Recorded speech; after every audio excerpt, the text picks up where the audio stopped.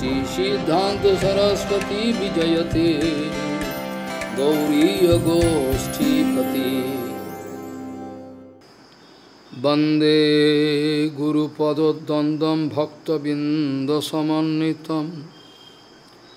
শ্রীচৈতন্য প্রভু বন্দে নিত্যানন্দসহোদিতম শ্রী নন্দনন্দন বন্দে রাধিকা চরণোদয় গোপীজন সময়ুক্ত বৃন্দন মনোহর বাঞ্ছা কল্পতরুশ কৃপা সিন্ধু ব্যবচ পতি পাবনে ভবৈষ্ণবেভ্যো নমো নম। মূকং করোতি বাচালং পঙ্গু লঙ্ঘয়ত হেতগিরিম यत्कृपातमहं वंदे परमानन्दमाधवं बृन्दावै तुलसीदेव वै पिया वै केशवस्य च। कृष्णभक्तिपदे देवी सत्त्ववत्त्वयि नमो नमः। नारायण नमस्कृत्य नरं चैव नरोत्तमं देवीं सरस्वतीं व्यासं ततो जयो मुदीर सङ्कीर्तने कृष्णकथोपदेश गौरीयपत्रस्य प्रकाशने च सदानुरक्तगुरुभक्तियुक्तो भक्तिप्रमोदाक्षजगोद्वरुन् धैर्यं सदा परिभवग्नभविष्टदोहं तेथास्पदं शिवविरञ्चनुतं शरण्यं भीत्तात्तिहं पुनतपाल्भवद्दिपूतं वन्दे महापुरुषते चरुणारविन्दं यत्पादपल्लवनखचन्दमनिच्छटाय विस्फुजितकमपि गभवधू स्वदर्शि पूर्णानुरागर ससागर सारमूर्ति साराधिका मयि कदा শ্রীকৃষ্ণ চৈতন্য প্রভু নিত্যানন্দ, শ্রী অদ্বৈত গদাধর শিবাসাদি গৌরভক্তবৃন্দ শ্রীকৃষ্ণ চৈতন্য প্রভু নিত্যানন্দ, শ্রী অদ্বৈত গদাধর শিবাসাদি গৌরভক্তবৃন্দ। হরে কৃষ্ণ হরে Krishna Krishna Krishna, Hare Hare. Hare Ram, Hare Ram, Ram Ram, Hare আজানুলম্বিত ভুজৌ কনকাবদাত সংকীর্তনৈকিতর কমলায়তাক্ষ বিশ্বাম্বরৌ দ্বিজবরৌ যুগধর্ম পালৌ বন্দে জগৎপ্রিয়করৌ। करुणाभतारौ। हरे कृष्ण हरे कृष्ण कृष्ण कृष्ण, हरे हरे हरे राम हरे राम राम राम, हरे।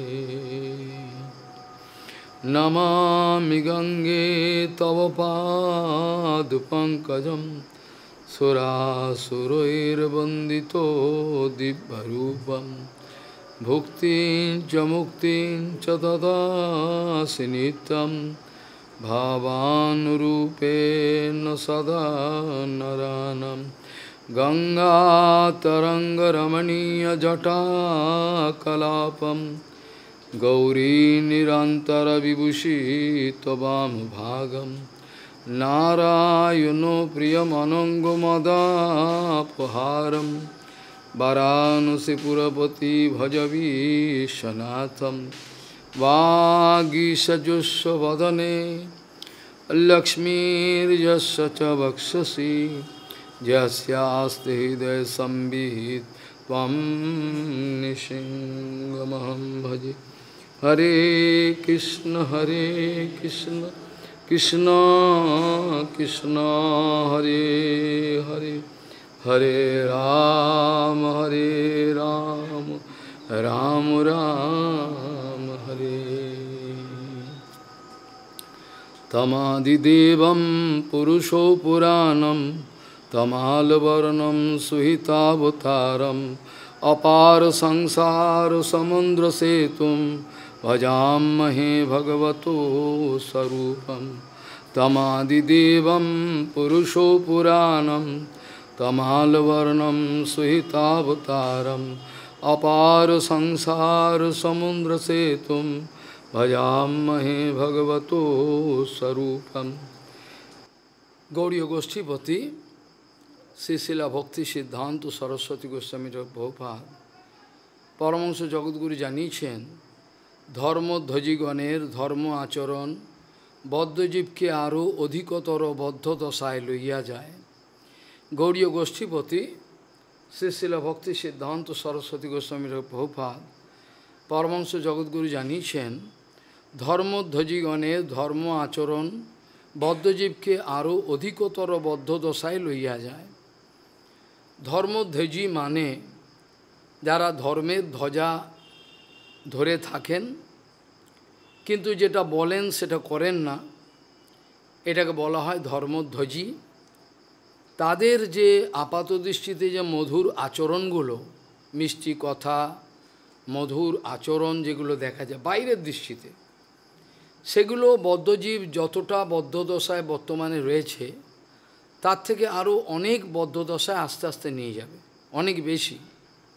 বর্তমানে যে বদ্ধদশায় ছিল তার থেকে আরও অনেক বদ্ধদশায় তাকে ধীরে ধীরে নিয়ে যাবে। আচরণহীন প্রচারকে বহুপাত বলতেন কর্মের অঙ্গ। এটা কর্মী যেমন কর্ম করে, আচরণহীন যে প্রচার, সেটা কর্মের অঙ্গ। আচরণ বলতে আমরা অনেকেই মনে করি বোধ হয় দশবার চান করা আর তিনবার তো আনিক অনেক কিছু বাহাদুরি দেখাই, সেগুলোকে আমরা মনে করি বোধ আচরণ। আমরা মনে করি দশবার চান করব, কাপড় পাল্টাবো, বিভিন্ন রকম যেগুলো পবিত্রতা বজায় রাখার অত অন্তর্করণ অপবিত্র। সে অবস্থায় আচরণ বলা মানে হলো, আচরণের অর্থ হলো কৃষ্ণ ভজনের জন্য যে সেবার যে প্রবৃত্তি সেটাকেই আচরণ বলে? যদি সেটা না হয়, তাহলে গৌর কিশোর বাবাজি মহারাজ অপবিত্র হয়ে যাবে। বেশি চান করেন না। আমাদের পরম বিবেক কেশব গোস্বী মহারাজ মাসে একবার চান করতেন দুবার। সময় হতো না। কাজে এগুলো পবিত্রতার লক্ষণ নয়। পবিত্রতার লক্ষণ হলো কে কত কে কত পরিমাণে হরিগুরু বৈষ্ণবের স্মৃতি হৃদয়তে রাখতে পেরেছেন। কার হৃদয়ে কতটা ভগবত সেবার জন্য, গুরু গুরু বৈষ্ণবের সেবার জন্য কতটা উতালা হয়েছে, কতটা আকর্ষণ হয়েছে গুরু বৈষ্ণবের চরণে, এটাকে বলে আচরণ। এই আচরণের ক্ষেত্রে অনেকে মনে করেন, যার বেশি নিয়মানুবর্তিতা পাংচুয়ালিটি আছে, যার বেশি পরিমাণে সত্যবাদিতা আছে তিনি সত্য কথা বলেন খুব খুব সত্যবাদী তিনি। তিনি তার সততা আছে, তার প্রচুর সততা আছে, সত্যবাদিতা আছে, নিয়মানুবর্তিতা আছে, আদর্শ জীবনে অনেক কিছু বজায় রেখেছেন তিনি অনেকে। কিন্তু সেই সব আদর্শ, সেই সব সততা, সেই সব আমার নিয়মানুবর্তিতা, সেই সব সমস্ত কিছু জলেতে ভেসে চলে যাবে। এগুলোর কোনো অর্থ থাকবে না। হয়তো আমার জীবনে অনেক আদর্শ আমি দেখিয়ে দিতে পারি লোককে, দেখুন আমার আদর্শ আছে। আবার প্রমাণ করতে পারি আমার সততা আছে, দেখুন আমি কোনো রকম প্রচুর সততা আমার। এগুলো সব আমি দেখাতে পারি। কিন্তু এইগুলো বানের জলে ভেসে যায়। যদি হরিভজনের সঙ্গে কোনো সম্বন্ধ না থাকে, তাহলে সেগুলোর কোনো অর্থ থাকে না। হরিভজনের সঙ্গে যেগুলোর কোনো অর্থ থাকে না, সেগুলোর যত সমাজের দৃষ্টিতে মূল্যবান হোক না কেন, বাস্তবিক পক্ষে সেগুলো কোনো মূল্য নাই। ফটিকুরও মূল্য নাই সেগুলো। কিন্তু মানুষ মনে করে, এগুলোই বড় জিনিস। হরিভজন এত বড় জিনিস। হরিভজনের কথা কৃষ্ণ ভজনের কথা, কৃষ্ণ সেবার কথা এত বড় জিনিস যেখানে কোনো আদর্শ, কোনো সততা এগুলোর কোনো মূল্যই থাকে না।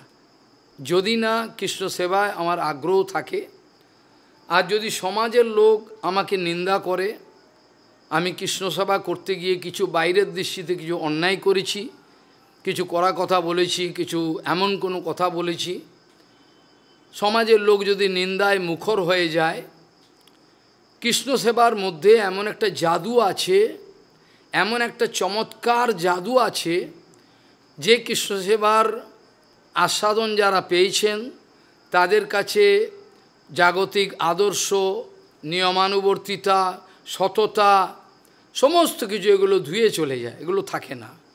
এগুলোর কোনো মূল্য থাকে না। আর সমাজের লোক যদি নিন্দা করে, তাহলে সেই নিন্দাকে গ্রহণ করে তারা কৃষ্ণ সেবায় ঝাঁপিয়ে পড়লে পরে বাইরের দৃষ্টিতে যে দুরাচারত্ব দৃষ্ট হয়। কোনো এক সাধু ভগবত সেবার জন্য তিনি ঝাঁপিয়ে পড়েছেন, কিন্তু বাইরের দৃষ্টিতে এটা দুরাচার বলে মনে হচ্ছে। এটা তো সমাজের লোকের আচরণ এরকম হওয়া উচিত নয়। পৌপাত বলছেন, সেটাকেও আমরা আনন্দের সঙ্গে গ্রহণ করব। যদি সমাজের লোক নিন্দা করে, না বুঝে, সমস্ত কিছুর যে মানদণ্ড, আমরা যে স্কেল দিয়ে গুরু বৈষ্ণবকে মাপি, আমাদের একটা স্কেল আছে, মনের ভেতরে একটা স্কেল আছে সে স্কেল দিয়ে আমরা গুরু বৈষ্ণব একটা মাপার ফিতে আছে এটা দিয়ে আমরা মেপে ফেলি। এই গুরু বৈষ্ণব এত লম্বা, এত চওড়া, এত ফর্সা, এতটা তার সংস্কৃত জ্ঞান আছে, বা তার কোনো জ্ঞান নেই। এই ধরনের আমাদের বিচারটা হলো গুরু বৈষ্ণবকে নিয়ে। কিন্তু প্রভুপাত এই বিচারগুলোকে সম্পূর্ণ উপেক্ষা করে সমগ্র জগতে একটা ইভলিউশন এনেছেন, আন্দোলন করেছিলেন। তিনি পৃথিবীর সবচেয়ে বড় পণ্ডিত হয়েও তিনি ছিল গৌরকিশোর দাস বাবাজি মহারাজের চরণ আশ্রয় করেছেন। এটাতে প্রমাণ করেছেন কত বড় একটা কথা। জগতের লোক এইগুলোর কোনো মানে বোঝবার চেষ্টা করে না।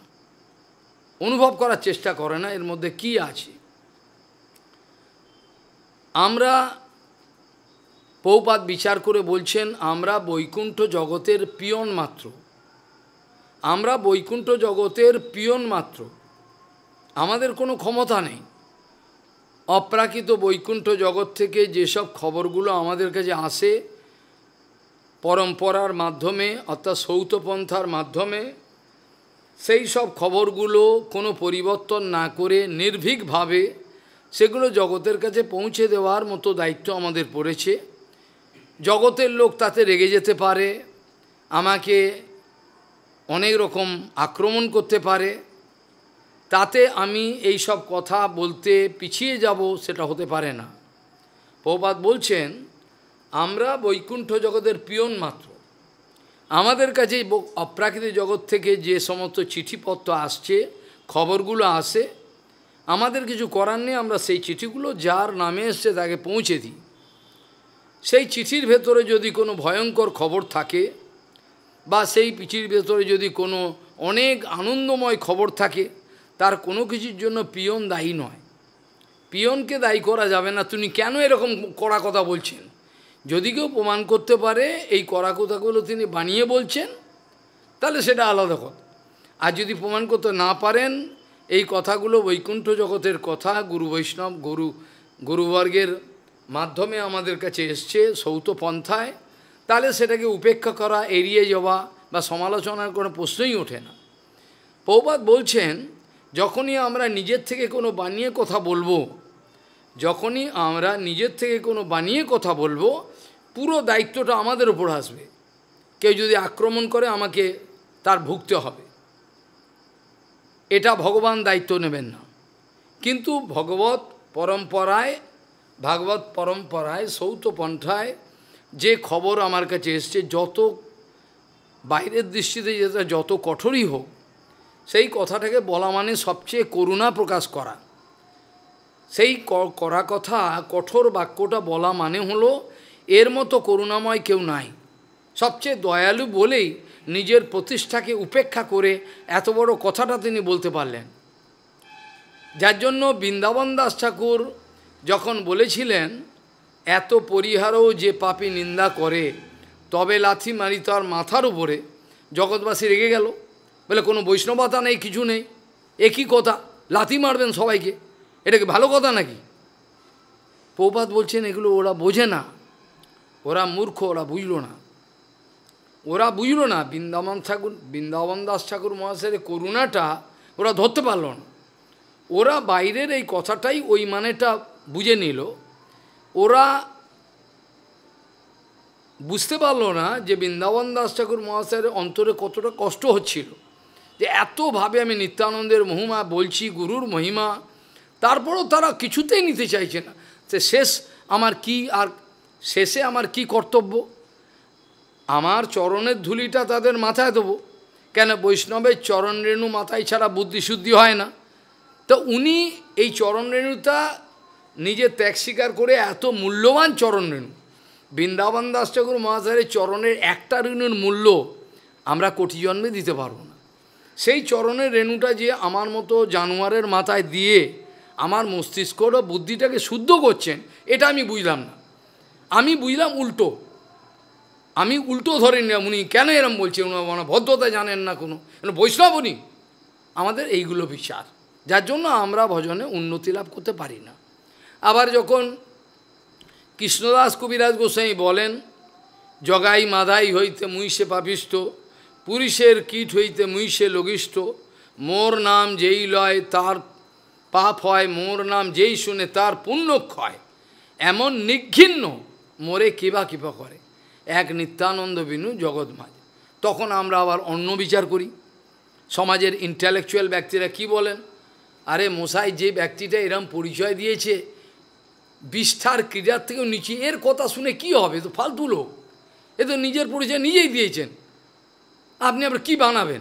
ও তো নিজেই বলেছে যে জগাই মাদেব যে নিত পাপ, আমি তো মুইসা পাপিষ্ট।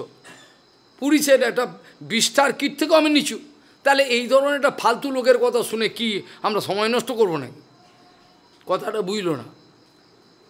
প্রপাত বলছেন, বৃন্দাবন দাস ঠাকুর মহাশয়ের এই বাক্যটা, জগাই মাদাই হয়েছে মুইসে পাপিষ্ঠ, পুরুষের কীট হইতে মুইসে লঘিষ্ঠ মোর নাম যেই শুনে তার পাপ হয়, মোর নাম যেই শুনে তার পুণ্যক্ষয় এই যে কথাটা বলছেন, আর বৃন্দাবন দাস ঠাকুর মহাশয় যে বলেছেন, তবে লাথি মারু তার শরীরের দুটো একই অর্থ। বরঞ্চ বৃন্দাবন দাস ঠাকুরের করুণাটা আরও বেশি। কেন? তুই প্রত্যক্ষ ওখানে তো তোকে ভুল বোঝার সম্ভাবনা আছে। ওখানে ভুল বোঝার সম্ভাবনা আছে। বৃন্দাবন দাস ঠাকুর করুণা করছেন। ব্যাস। অবশ্য দুজনেরই অপার করুণা। তথাই বহুপাত বলছেন যে, বৃন্দাবন দাস ঠাকুর মহাশয়ের যে দৈন্য আর কৃষ্ণদাস কবিরাজ গোস্বামীর যে দৈন্য দুটো একই। অনেকে বাচাল ব্যক্তি এরকম বলতেন, ছিল সচ্চিদানন্দ ভক্তিনাথ ঠাকুর ঘরের মধ্যে থাকতেন, ভালো কাপড় পরতেন, ওনার বৈরাগ্য একটু কম ছিল। আর গৌরকিশোর বাবাজি মারা তো মরা মৃতদেহ কাপড় ফেলে দিলে, গঙ্গা জলে পড়তেন কখনো কৌপিন পরে। তো গৌরকিশোর বাবাজির মধ্যে বৈরাগ্যটা বেশি ছিল। ভক্তিনাথ ঠাকুরের বৈরাগ্যটা কম ছিল, এমনি ভালো তিনি। এই বিচার করছেন। কি বলবে এবার? কি বলবে? পৌপাত বলছেন দুজনের বৈরাগ্য একই। প্রপাত বলছেন, গৌরকিশোর বাবা গঙ্গার তীরে কৌপিনপুরে রয়েছেন আর ভক্তিবিনোদ ঠাকুর ঘরেতে এখানে ভজন কুটিরে বসে নাম করছেন। দুটোর একই বৈরাগ্য, দুটোর মধ্যে কোনো রকম পার্থক্য নাই। কিন্তু বাচাল ব্যক্তিরা এসব মানে বোঝে না। এসব অর্থ কিছু বোঝে না। তারা বাইরের অর্থ নিয়ে টানাটানি করে। ওরা মনে করে আমরা বিরাট বুদ্ধিমান, সব জেনে গেছি, সব বুঝে গেছি। এই জন্য তাদের মঙ্গল হওয়ার সম্ভাবনা খুবই কম। বিশেষ করে অপ্রাকৃতিক জগতের হরিকথা, শ্রবণ কীর্তনে যারা বাধা দেবে, তাদের কি ধরনের শাস্তি পেতে হয়? কেন জীবাত্মার আত্মমঙ্গলের কোনো রাস্তা নেই? এখন কলিকালে সবই চলে গেছে। কোনো বস্তু শুদ্ধতা নাই, পূজা করবেন, রান্না করবেন সবই অশুদ্ধ। শারীরিক অসুস্থতা কোনো কিছুই নাই। এখন পৌপাদের কিবাতে যদি অপ্রাকৃতিক জগতের হরিকথা কীর্তন হয়, সেই হরিকথা যদি আমার কর্ণবিবরে যায়, এটার দ্বারাই পবিত্র হওয়া একটা রাস্তা, আর অন্য কোনো রাস্তা, কোনো বস্তু শুদ্ধি, কোনো স্থান, কাল পাত্রের শুদ্ধি কোনো সম্ভাবনা নাই। স্থান, কাল, পাত্র, যেখানেই যাবেন, কোনো না কোনো অশুদ্ধ আছে। যদি মনে করেন দুধ কিনে দেবো ভগবানকে, দুধেও ভেজাল। যদি মনে ফল কিনে দেবো, সেখানেও খৈনি টিপছে এরমভাবে আপনি গেলেন, খৈনিটা দিয়ে ফলটা দিল আপনাকে। যদি মানে ঘি, সেখানে চর্বি মেলানো আছে, কোথায় যাবেন? সাধুতেও ভেজাল সাধুতেও ভেজাল, যাকে লোকে বিশ্বাস করে। কোথায় যাবে? আর কোনো রাস্তা নেই। কোনো রকম রাস্তা নেই শুদ্ধতা। একটাই রাস্তা, সেটা হলো যে কোনোভাবেই অপ্রাকৃতিক জগতের, আমি জানি এগুলো শুনতে অত্যন্ত কষ্ট হয়। এগুলো শোনা যায় না, বুক ফেটে যায়। কেন এইসব কথা বলছেন? ভালো কথা বলতে পারেন তো। ভালো কথা মানে মিষ্টি কথা। ঠকাবার কথা। ওগুলো বলতে পারেন, এগুলো কেন বলেন? ঠিকই তো কথা, এগুলো কেন বলেন? তো এই জন্য প্রভুপাত বলছেন যে, আমরা তো পিয়নের কাজ করছি। আমাদের দায়িত্ব হলো আমরা ডাকঘরের পিয়ন। যেখানে যা চিঠি আসবে, বৈকুণ্ঠ জগৎ থেকে সেই চিঠিগুলো দিয়ে দেবো। চিঠির মধ্যে খারাপ লেখা আছে, পিয়নকে ধরে মারতে আরম্ভ করলে তো হবে না। পিয়নকে ধরে কেন ওই খারাপ খবর নিয়ে এলে? পিয়ন বলছে, আমি তো কিছু করিনি। আমার যা আপনার নামে যে খবর এসছে, সেগুলো আমি দিয়েছি। ওনাকে মারধর করতে আরম্ভ করে দিলে লাভ হবে না কিছু। সেই রকমভাবে যদি চিঠির মধ্যে কোনো আনন্দ সংবাদ থাকে, তাও পিয়নের কোনো দায়িত্ব পিয়ন পরিবার। প্রবাদ বলছেন, আমরা হচ্ছে এই দায়িত্ব করছি। যখনই আমরা নিজের বুদ্ধি থেকে কিছু বানিয়ে বলতে যাব, তার পুরো দায়িত্ব আমাদের পড়বে। পুরো সামলাতে হবে, হ্যাপাটা সামলাতে হবে।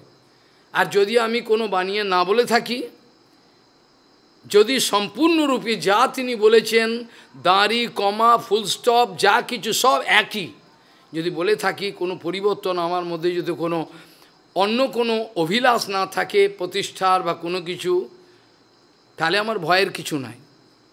সমস্ত জগতের লোক যদি ছেড়ে চলে যায় আমাকে, তাতেও ভয়ের কিছু নাই। আর যদি মনে করেন আক্রমণ করবে, তারা কিছু করতে পারবে না। প্রবাদ বলছেন, পরম সত্যবস্তু, প্রবাদ বলছেন পরম সত্যবস্তু এতটা সস্তা জিনিস নয়। পরম সত্যবস্তু এতটা দুর্বল নয়, এতটা সস্তা নয় যাকে গলা টিপে মেরে ফেলা যায়। এতটা সস্তা নয়। পরম সত্যবস্তুর একটা স্বরূপ আছে। তাকে গলা টিপে মেরে ফেলবে, হবে না। তাকে আন্দোলন, গণ গণ আন্দোলন করে বন্ধ করে দাও ওইসব কথা হবে না, বন্ধ করা যাবে না। গণ আন্দোলনের মাধ্যমে সেই পরম সত্যবস্তুকে আটকানো যায় না। যে কোনো অর্থবল লোকবলের মাধ্যমে আটকানো যায় না, তাকে গলা টিপে মারা যায় না। কারণ সেই সত্যবস্তুটা একটা স্বরূপ আছে। তার নাম হলো কৃষ্ণ, তার নাম হলো গোবিন্দ, তার নাম হলো গৌরাঙ্গ। সেই যদি এতটা সস্তা বস্তু হতো, তাহলে যে কোনোভাবে করা যেত করতে পারে না। পৌপাত কতটা আক্রমণের মুখী হয়েছিলেন, কতবার তাকে খুন করে ফেলবে বলেছিল সহজিয়ারা একবার নয় কিন্তু।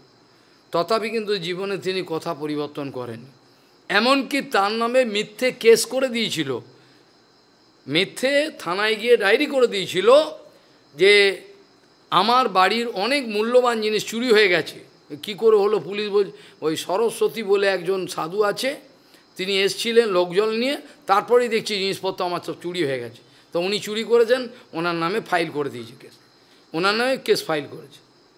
কোর্টের থানার লোক তো আর কিছু বোঝে না। থানার লোক কেস ফাইল করে একটা একটা সমাজের সব পয়সাওয়ালা লোক তিনি।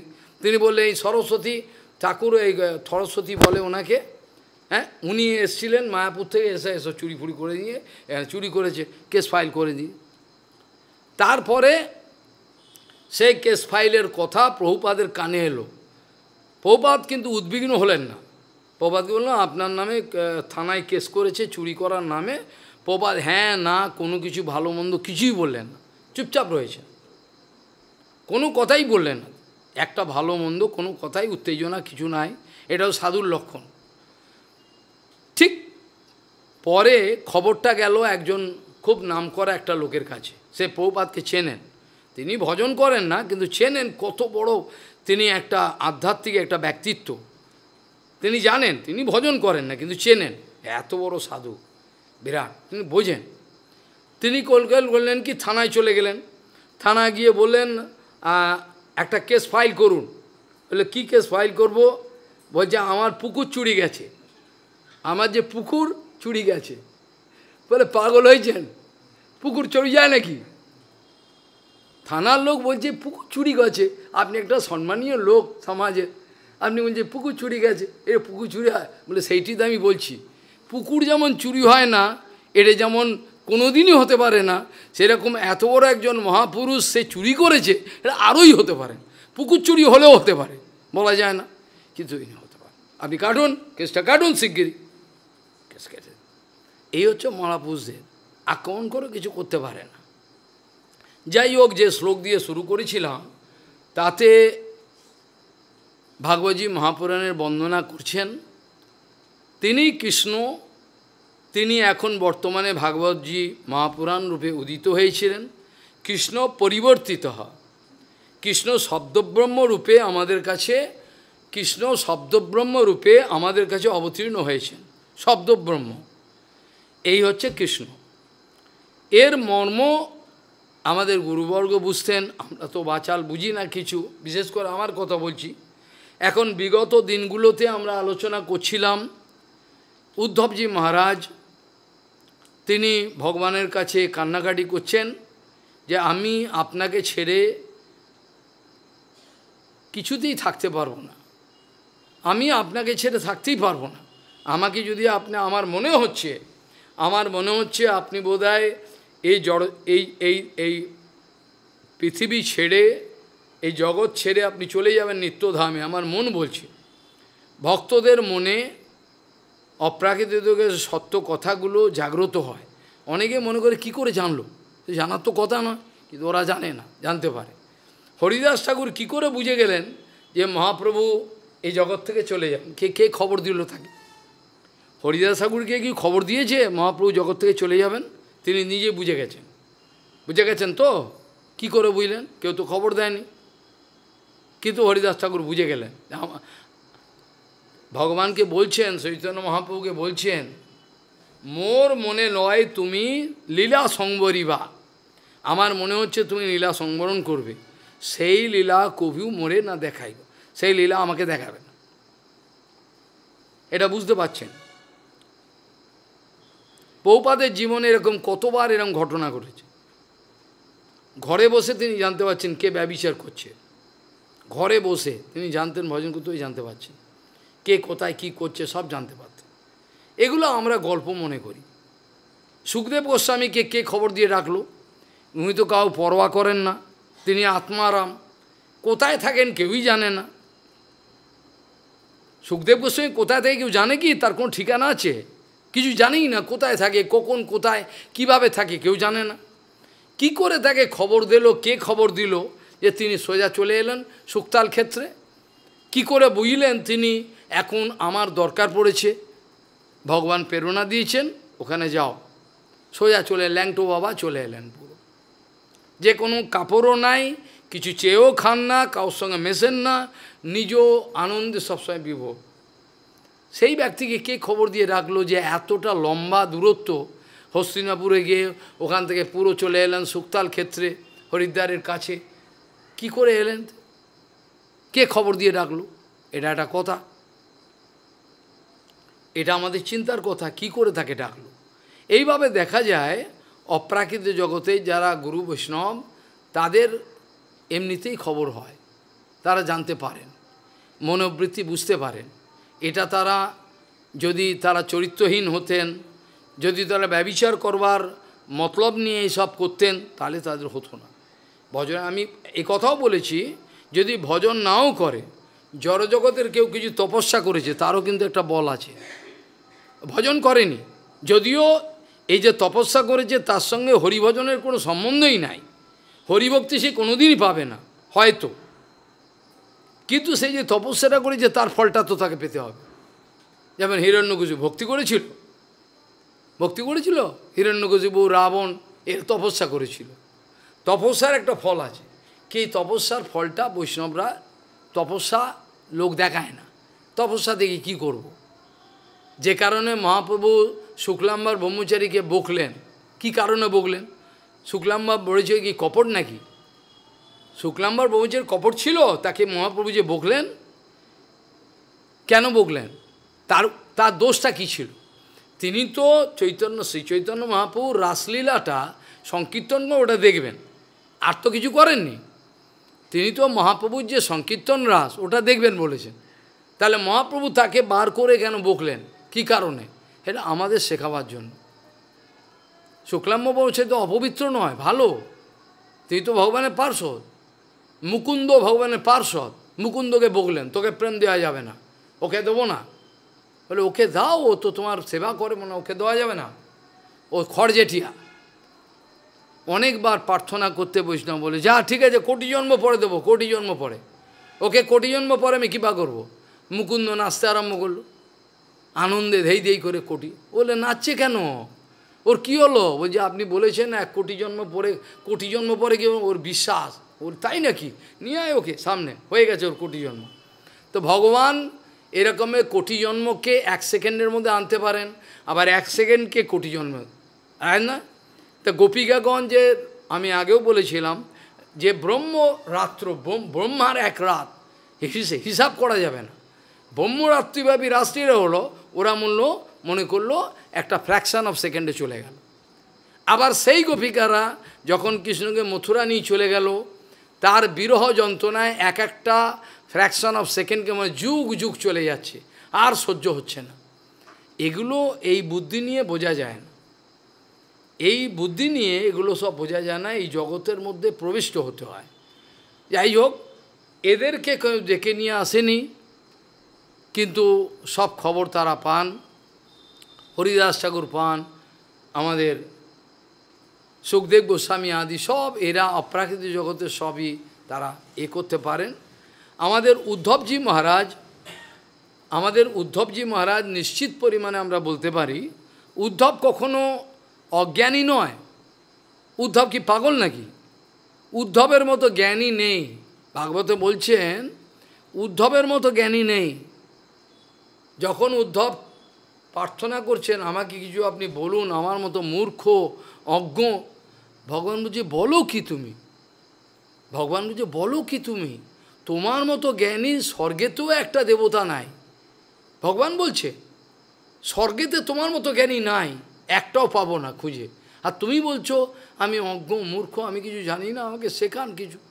তাহলে কতটা দৈন্যের কতটা? আমরা দৈন্য মনে মনে করি কবরতা আমরা দৈন্য মনে মনে করি, আমরা মনে করি বৃন্দাবন দাস ঠাকুরের দৈন্য নাই। কিন্তু কত বড় দৈন্য তার? নিত্যানন্দের অনুচর। নিত্যানন্দের পরিপূর্ণ কৃপা পেয়েছেন। জাহ্নবা মাতার সঙ্গে খেতুরি উৎসবে গেছিলেন। তারও কৃপা পেয়েছেন জাহ্নবা ঠাকুরানির। তা তাকে আমরা বলছি তার দৈন্য নাই। কেন এই করা কথা বলছেন?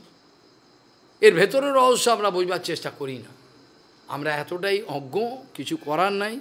যাই হোক আমাদের উদ্ধবজি মহারাজ কখনোই মূর্খ নয়। উদ্ধবজি মহারাজ বোকা নয়, উদ্ধবজি সব জানেন। কিন্তু তথাপি ভগবান অন্তর্ধ্যানের আগে তিনি ভগবানের থেকে অনেক কিছু, আরও কিছু, এটা ভগবানের প্রেরণাতে তিনি প্রশ্ন করছেন।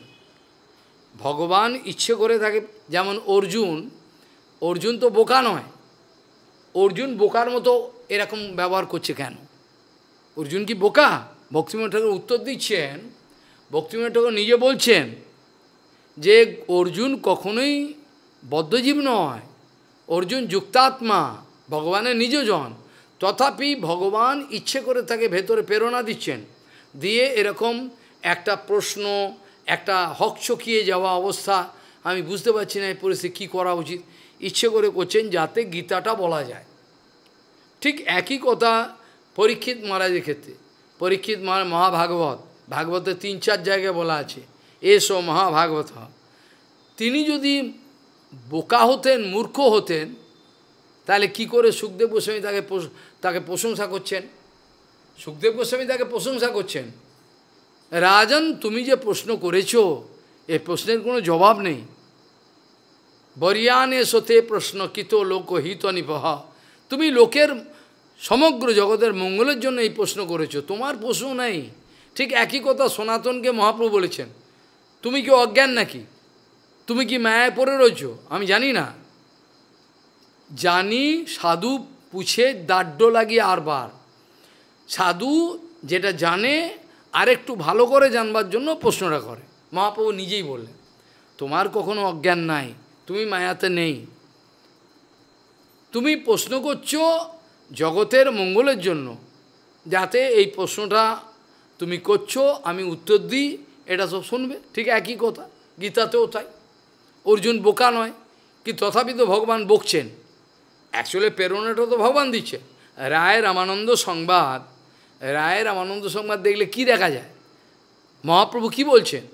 যে আমি যেই কারণে এত দূর তোমার কাছে এলাম, সেই সব জ্ঞান আমার হলো, খুব ভালো হলো, আমার খুব মহাপ্রভু বলছেন, যেসব কারণে আমি তোমার কাছে এলাম জানবার জন্য, সেই সব জ্ঞান আমি আজকে জানতে পারলাম। মহাপ্রভু বলছেন, কাকে? রায় মহাশয়। মহাপ্রভু বলছেন, সেই জন্য সার্বভৌম, সেই জন্য সার্বভৌম আমাকে জোর করে বলল, প্রভু, আপনি উপেক্ষা করবেন না, দক্ষিণে যাচ্ছেন, ওর সঙ্গে অবশ্যই দেখা করুন। পূর্বে আমি মায়াবাদী ছিলাম, সেই জন্য অনেক উল্টোপাল্টা ওকে মজা করতাম, ঠাট্টা করতাম। রায় মহাশয়কে ফালতু। এ, ভক্তি আর কি? এখন আমি আপনার কৃপাতে যখন মায়াবাদ ছেড়ে ভক্ত, এখন আমি বুঝি কী রত্ন, রায় মহাশয়ের মতো রত্ন জগতে পাওয়া যাবে না একটা। প্রভু, আপনি আমার কথা মেনে দেখবেন, দয়া করে। আপনি ওর সঙ্গে দেখা করবেন। দেখা করলেন সেই সমানে হরিকথা শুনলেন। কিন্তু হরিকথাটা কে বলল আর কে শুনল? যখন মহাপ্রভু বলছেন যে আমি যে কারণে সর্বভৌম আমাকে পাঠালো যেসব তত্ত্বজ্ঞান আমি লাভ করলাম, যে কারণে আমার সিদ্ধ হল। তখন রায় মহাশয় বলছেন, প্রভু রায় মহাশয় বলছেন, আপনি আমার ভেতরে বসে রয়েছেন, বসে আপনি বলছেন, আপনি আবার শুনছেন। রায় এই জন্য কৃষ্ণদাস কবিদাস বসে বলছেন, রায় মুখে বক্তা স্বয়ং গৌর রায়। রায় মুখে বক্তা স্বয়ং গৌর রায়। এটা অভিনয় করছেন তিনি। ভক্তের প্রশংসা করেন যে যেসব কারণে আমি এলাম, আমার সব তত্ত্বজ্ঞান হলো। প্রভু বলছেন, রায় মহাদের বলছেন, প্রভু, আপনি নিজে প্রশ্ন করছেন, আবার নিজেই আপনি উত্তর দিয়ে নিজেই শুনছেন। আমি, আপনি তো আপনি তো, আমি হচ্ছে যন্ত্র, আপনি হচ্ছে যন্ত্রী। এই যে মৃদঙ্গটা পরে একা একা বাঁচতে পারবে? মৃদঙ্গটাকে কেউ নেবে তা বা তবে তো বাজবে। কোনো ইনস্ট্রুমেন্টে গিটার আছে সব কিছু সব কিছু এগুলো নিজে নিজে বাঁচতে পারে না। এগুলোকে চালায়। তো আমার আমার মধ্যে আপনি এই সবগুলো উত্তর দিচ্ছেন, আপনি নিজেই প্রশ্ন করছেন। মহাপ্রভু উদ্দেশ্য ছিল ভক্তির একেবারে প্রথম থেকে, কর্ম থেকে আরম্ভ করে কর্মার্পণ থেকে সব একেবারে খুঁটে খুঁটে। ভক্তিরাজ্যের যত গোপন রহস্য, সমস্ত রায় রায় রামানন্দের সংবাদের মাধ্যমে তুলে ধরেছেন। মহাপ্রভু দেখিয়েছেন কোথা থেকে শুরু হলো আর কোথায় শেষ। শ্রীমতী রাধারানীতে গিয়ে শেষ করলেন। তাহলে কীরকম চতুর ভগবান। আর উদ্ধবজিকে, উদ্ধবজির অজ্ঞান নেই। কারণ যেটুকু উদ্ধবের মধ্যে কম ছিল, উদ্ধবের মধ্যে একটু কিছু কম ছিল, কি সেটা? যদি বলেন উদ্ধবে কম কি ছিল? উদ্ধবকে তো ভগবান বলেছেন, যেই উদ্ধব সেই আমি। উদ্ধবের মধ্যে কি কম ছিল? ভগবান তো বলছেন, ন উদ্ধব অনুপি মন্নুন, এক অনুপরিমাণে এক অনুপরিমাণে উদ্ধব আর আমাদের পার্থক্য নেই।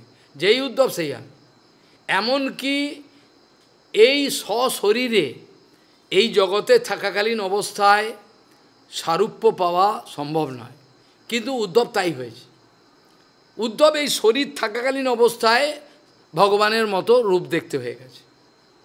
তাহলে এত বড় যে উদ্ধব, তার কি কম থাকতে পারে? ভগবান শ্রীকৃষ্ণ যখন উদ্ধবকে ব্রজধামে পাঠিয়েছিলেন, তখন কি মতলব নিয়ে পাঠিয়েছিলেন? অনেকে মনে করবে, নন্দবাবা, যশোদামা, এদেরকে, গোপীগণকে, সখাগণকে সান্ত্বনা দেওয়ার জন্য। এটি বলবেন। এটা মুখ্য কারণ। কিন্তু এরা জানে না। এদের সান্ত্বনা দেওয়া যাবে না। আরে সান্ত্বনার বিষয় হলে তো সান্ত্বনা দেবে। কাকে সান্ত্বনা দেবে? এরা সান্ত্বনার, তুমি, তোমার কোনো কথাই চলবে না এরা কৃষ্ণ ছাড়া দ্বিতীয় কোনো কথাই শুনবে না। এরা কৃষ্ণ ছাড়া অন্য কিছু বোঝে না। ওদের কী সান্ত্বনা দেবে? জ্ঞান দিতে যাবে ওদের। ওরা তোমাকে জ্ঞান দিয়ে দেবে। ওদের যে জ্ঞান আছে।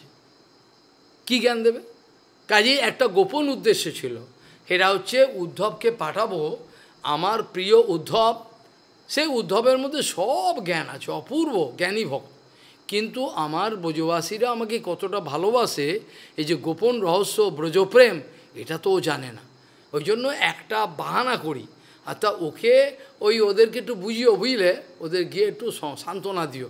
এইটার নাম করে ওকে পাঠালেন, গিয়ে ব্রজবাসীকে দিয়ে ওকে শিক্ষা দেবেন। উদ্ধব উদ্ধব উদ্ধব ওদের কি শিক্ষা দেবে? উদ্ধব ওদের কী শেখাবে? যখন নন্দবাবাকে বলছেন, আপনি দুঃখ করবেন না, কাঁদবেন না, আপনি তো আপনার এই কৃষ্ণ তো অ্যাকচুয়ালি পরাৎপর অখিলেশ্বর, ভগবান, সে যে আপনার কান্দার তো কোনো কিন্তু সর্বত্রই আছে নন্দবাবা বলছেন, এতদিন আমি ভেবেছিলাম তোকে, উদ্ধব, ওরা তুই বলে, ব্রজবাসীরা আমাকেও তুই বলে। উদ্ধব, দেখ তোকে এতদিন আমি মনে কিন্তু বুদ্ধিমান তুই। কিন্তু এখন দেখছি বোকা। তুই আমাকে বলতে চাইছিস, আমি প্রথমে ভেবেছিলাম ছেলেটা চলে গেছে। এখন বলছি, ছেলেও হারালাম আর ভগবানও হারালাম। এখন তুই আমাকে বোঝাতে এসছিস, আমি ভগবান, ছেলে তো হারালাম। এখন বলছি, ভগবানকেও হারালাম, তাহলে আমার দুঃখটাকে ডবল বাড়াচ্ছিস তুই। তুই বুদ্ধিমান? তাহলে দেখো কীরকম। তাহলে ভগবানের চালাকিটা কেউ ধরতে পারে না। এটা গোপন রহস্য। উদ্ধবকে দিয়ে ওদের শিক্ষা দেবে না, কী করে দেবে? রাধারানী কুরুক্ষেত্রেতে যখন কৃষ্ণের সঙ্গে মিলন হয়েছেন, কৃষ্ণকে বকছেন, তোমার বুদ্ধিশুদ্ধি নাই? তুমি উদ্ধবকে পাঠিয়ে আমাদের জ্ঞানযোগ শেখাচ্ছ? কৃষ্ণকে বকছেন, তোমার বুদ্ধিশুদ্ধি নাই? তুমি উদ্ধবকে পাঠিয়ে আমাদের জ্ঞানযোগ শেখাচ্ছ? স্থানাস্থান না করো বিচার। কোথায় কি করতে হয় তাই জানো না তুমি? এটা প্রেমের ভালোবাসার, এটা হচ্ছে এটা হচ্ছে প্রেমের ভাষা। কাজেই উদ্ধবকে পাঠিয়ে জ্ঞানযোগের শিক্ষা দিচ্ছে। কাকে জ্ঞানযোগ হবে উদ্ধব গোপিকাকে বলছেন, সবসময় কৃষ্ণকে চিন্তা করুন, করলেই সব মঙ্গল। বলে, বেটা, কৃষ্ণকে ভুলতে পারি, এমন কথা বল। কৃষ্ণকে মনে রাখি, কি বলছিস? কৃষ্ণকে মনে রাখি বলে কষ্ট হচ্ছে, ভুলতে পারি এমন কিছু জানা আছে তোর? হ্যাঁ বল, বেটা, বোকা। কৃষ্ণকে মনে রাখুন তাহলে শান্তি হয়ে যাবে। কৃষ্ণকে ভুলতে পারছি না সর্বক্ষণ খালি চিন্তা করে কি করে ভুলবো? কষ্ট হচ্ছে ভেতরে। এই হচ্ছে উদ্ধবকে পাঠিয়ে ব্রজ, ব্রজভূমিতে পাঠিয়েছিলেন। পাঠিয়ে সব শিক্ষা দিয়েছেন। অর্থাৎ উদ্ধবের মধ্যে এই উদ্ধবই বলেছিলেন যে, ব্রজগোপিকাগণের একটা চরণ রেমু আমি মাথায় আশা করছি। একটা চরণ রেণু যদি গোপিকাগণের একটা চরণ আমার মাথায় যায়, আমি কৃতকৃতার্থ হয়ে যাব। কত কিছু বলেছিলেন। আসামহ চরণ রেণু জুসামহম সাম বৃন্দাবনে কিমপি গুলমলতা, আমি বৃন্দাবনে গুলমলতা হয়ে জন্মগ্রহণ করতে চাই। আমার আর কোনো আশা নাই। তারপর কি বলেছেন? বন্দে নন্দ ভজস্ত্রী নাম পাদরেণুমবিকনস ইয়াসাম হরিকথা দিগিতম, পুনাতি ভুবনত্রয়। যাদের কৃষ্ণ গাথা যাদের কৃষ্ণ সম্বন্ধীয় কথা, যে গোপীকরা অনন্ত ব্রহ্মাণ্ডকে মঙ্গল ভুবনত্রয়াম। আর যাওয়ার সময় কাঁদতে কাঁদতে গেছেন, কেন কি, কেন তো এসছিলেন বেশ কিছু দিনের জন্য। উদ্ধবকে অল্প দিনের জন্য পাঠাননি, বেশ কিছু সময় তিনি ছিলেন। লাস্টে যাওয়ার সময় কি বলছেন? আমি ভেবেছিলাম আমি এদেরকে শিক্ষা দিতে, এত বড় আমার ধৃষ্টতা। এত বড় আমার ধৃষ্টতা আমি ভেবেছিলাম এখানে শিক্ষা দেবো, কিন্তু গিয়ে আমি বোকা বেনে গেলাম। এদের যা কৃষ্ণের প্রতি ভালোবাসা, প্রীতি আমার কোটি জন্ম হবে কি? আমি তো আমি তো বুঝতে পারছি না এদের কী করে এদের এরকম ভালোবাসা। অর্থাৎ কৃষ্ণ এই গোপন জিনিসটা উদ্ধবকে জানাবার জন্য, উদ্ধব সব জানে, কিন্তু একটা জিনিস জানে না, যে ব্রজবাসীরা আমাকে কতটা ভালোবাসে, কি এদের তীব্র ভালোবাসা এটা জানলে পরেও ভালো হবে। এখন এই উদ্ধবকে পাঠিয়েছিলেন অনেক আগে, উদ্ধবকে কিন্তু এখন পাঠাননি। উদ্ধবকে পাঠিয়েছিলেন যখন তিনি মথুরাতে ছিলেন বৃন্দাবন ছেড়ে মথুরাতে যখন, তখন পাঠিয়েছিলেন আর এখনকার কথা হচ্ছে শেষ কথা। কৃষ্ণের একশো পঁচিশ বছর হয়ে গেছে, কৃষ্ণ এবার চলে যাবেন জগৎ থেকে। তাহলে উদ্ধবের কিন্তু কমপ্লিট জ্ঞান আছে, তত্ত্বজ্ঞান তো আগেই ছিল। তারপরে এই প্রীতি সম্বন্ধীয় ভালোবাসার যে গুপ্ত রহস্য, ব্রজপ্রেমের, এই রহস্যটাও জেনেছে তাহলে উদ্ধবের মধ্যে আর কি অভাব আছে? কিছু অভাব আছে কি? কিছুই নেই। তথাপি এখন উদ্ধব দৈন্য করে ভগবানের কাছে বলছেন। ভগবানের কাছে বলছেন, আমি আপনাকে ছেড়ে থাকতে পারব না। ভগবান বলছেন, দেখো, আমি যেই এই জগৎ ছেড়ে যাব, সঙ্গে সঙ্গে কলি কিন্তু অপেক্ষা করছে। আমার চরণটা জগৎ থেকে যেই উঠবে, কলি টক করে ঢুকে পড়বে। ওরে এবার চারিদিকে লোকের মধ্যে ব্যবিচার, অনাচার, সাধুদের মধ্যে অনাচার, অত্যাচার ঢুকবে, তারা ব্যবিচার সব হবে।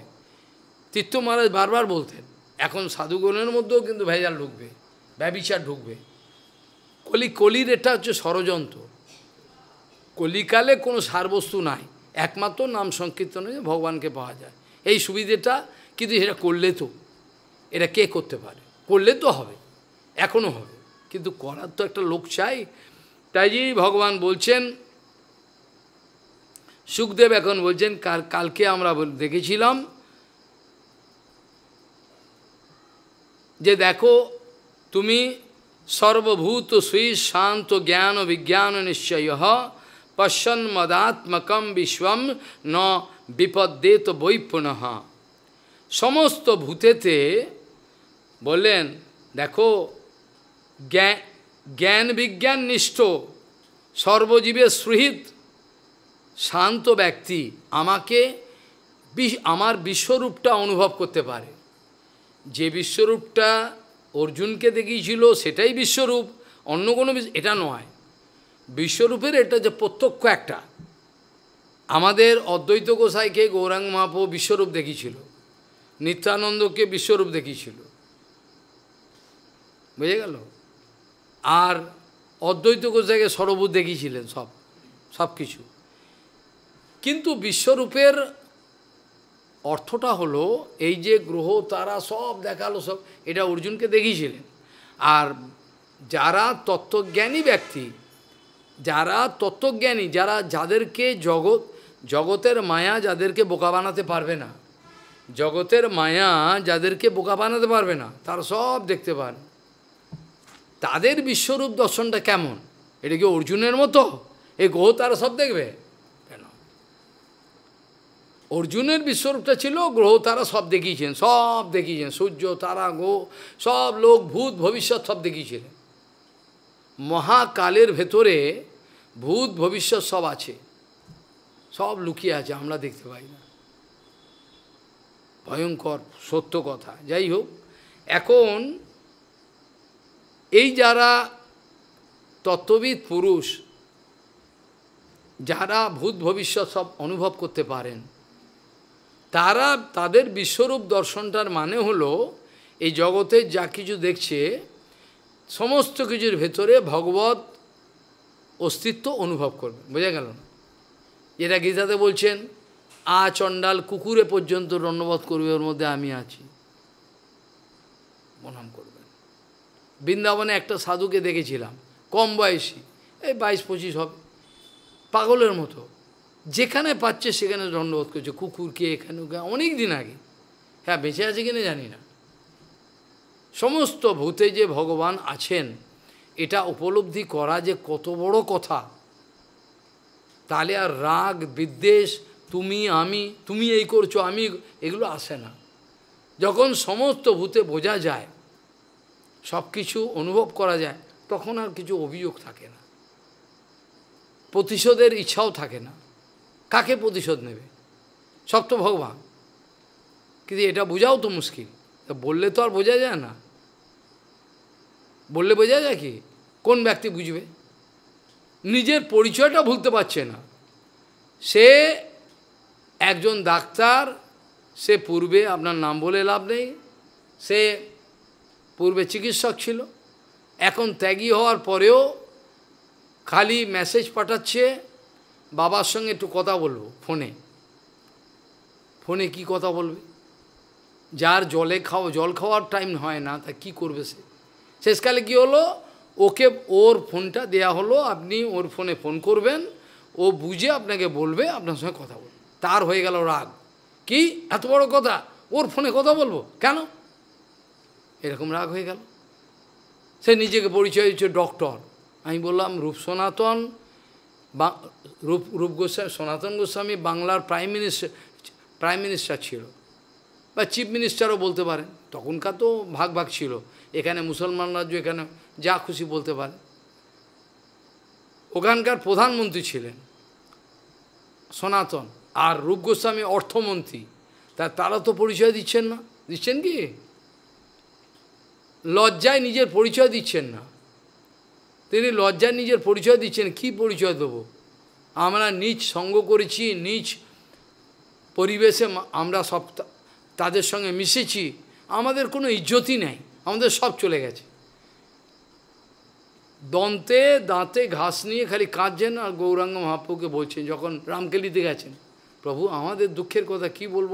আমাদের সব চলে গেছে, জাত, ইজ্জত, মান সব গেছে।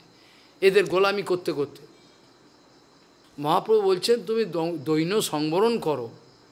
তোমার দৈন্যতে আমার বুক ফেটে যাচ্ছে। আমি জানি তুমি কে। তোমার দৈন্য দেখাতে হবে না। আমি জানি। প্রথম থেকেই আমি তোমায় জানি।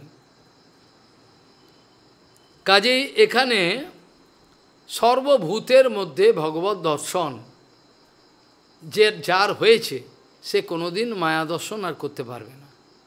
যার ওপর পূর্ণ গুরুকৃপা হয়ে গেছে তাকে ভগবান বলছেন, স্বর্গের দেবতারা কিছু করতে পারে না। ভগবান নিজে বলছেন, উদ্ধবকে উদ্ধব, যার ওপর সদ্গুরুর পূর্ণ কৃপা হয়েছে, ও স্বর্গের দেবতারের ক্ষমতা নেই, তার পেছনে লাগবে। কিছু করতে পারবে না। আর তিনি নিজে বলছেন, উদ্ধব, তুমি বলছো কি? তুমি বলছো আমি মূর্খ, কিছু জানি না। তোমার মতো জ্ঞানী স্বর্গরাজ্যে কোনো দেবতাদের মধ্যেও নাই। আর তুমি বলছো আমি এটা হচ্ছে দৈন্য। তা দৈন্যটা হলো ভক্তিরাজ্যের সর্বপ্রধান চিজ। যদি মনে করি কেশব গোস্বামী দৈন্য নাই, এই জন্য কড়া কথা বলছে ভুল কথা হলো। দৈন্যের আসল অর্থ হলো, দৈন্য কথা তিনাদবীর আসল গোপন অর্থ পৌপাত বলেছেন। পৌপাত বলছেন তিনাদবীর গোপন অর্থটা কি? লোকে তো উল্টো অর্থ করছে, করে বোকা বানাচ্ছে। পৌপাত বলছেন তিনাদবীর বাস্তবিক অর্থ হলো, যার জীবনে প্রতিষ্ঠার কোনো গন্ধ পর্যন্ত নাই। তিনি সত্য কথা বলতে পারেন। সেটি তিনাদবী পৌপাত বলছে ওরা বোকা বানাচ্ছে। ওরা বলছে, মিষ্টি কথা বলছে দৈন্য দৈন্য নয়। লোক ঠকাচ্ছে এটা। তিনাদুমি না থাকলেও সে বলতেই পারবে না, তার ভয় হবে। কি? এই কথা বলব? আমার কাছে তো লোক আসবে না। হ্যাঁ প্রণামী দেবে না আমাকে। আর না দিল? আমাকে পালন করা ভগবান রয়েছেন। করা কথাটা শোনা মানে তাকে কৃপা করা। এত বড় করুণা, তাকে এত বড় কথা কথা বলল মানে করুণা। যাকে প্রভুপাত ভালোবাসতেন, তাকে করা কথা বলতেন। আর যাকে জানতেন, ও শরণাগত নয়। এই কাটিয়ে দিতেন, সম্মান ফন্মান দিয়ে কাটিয়ে দিতেন। আরে আপনি তো সব, চৈতন্য প্রচার কে করল? আপনিই তো করলেন। আপনিই তো করলেন সব কিছু, ঠকাতেন। আর যার দেরি কোনো প্রতিষ্ঠা চায় না, কেশব গোস্বামী আজকে বিনোদ, তুমি একটা বোকা! তুমি একটা বোকা! তুমি মূর্খ, ডোকলা! কেশব মহারাজকে বকতেন মানে হ্যাঁ তাকে বকতেন কেশব গোস্বামী সেইটা স্মরণ করে কাঁদছেন। বিনোদ বাবুকে, বিনোদ দাকে, বিনোদ প্রভুকে বকতেন প্রভু তুমি একটা বোকা, কিচ্ছু জানো না তুমি। এখন পৌপা চলে যাওয়ার পর বিনোদবাবু কাঁদছে, বিনোদ দা, বিনোদ প্রভু। যে আমাকে আর কে গালাগাল দেবে এভাবে? একটা মূর্খ একটা বোকা, কে বলবে? আর বলার কেউ নেই।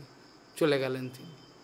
তাহলে এটা যে কত বড় ভালোবাসা, এটা মূর্খ লোক বোঝে না। একটা বকলে, একটু বকলে, একটু ভয় দেখালে চলে গেল।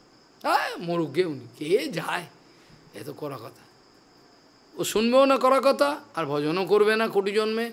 যেখানেই থাকুক, যাই খাক, আর যেভাবেই থাকুক, ও চরিত্র নষ্ট হবেই হবে।